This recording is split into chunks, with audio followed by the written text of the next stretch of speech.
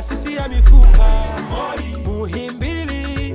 Moi, afya yako ni jukumu letu. Moi, kazi inaendelea. Moi, taasisi ya mifupa. Nimetembelea kwenye banda la Moi kwa kwenye maonyesho hapa Sabasaba.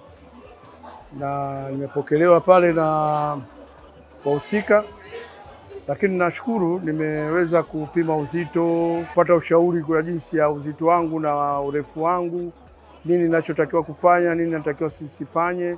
Nimepewa jinsi ya mpangilio wa kula vyakula. Nashukuru nimepata elimu nzuri tu kwa muda mfupi, lakini nimepata elimu nzuri sana ambayo itanisaidia.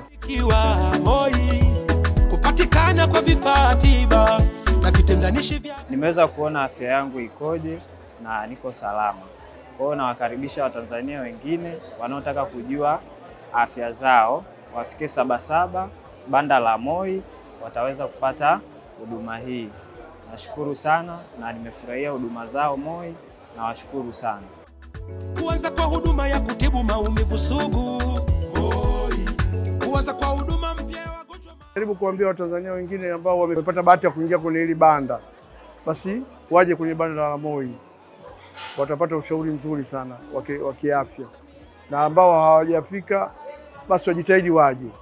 Ni huduma ambao unapata free. Honge